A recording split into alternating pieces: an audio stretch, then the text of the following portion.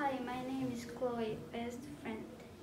Many people congratulate their best friend's birthday. What present do you want to give to your best friend on her birthday?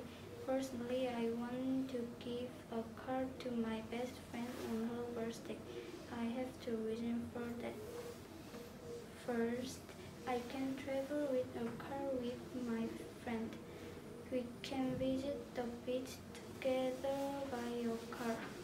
It time and it is boring to get there by bus. Talking with my friend in the car is not boring. Second, my best friend will be happy.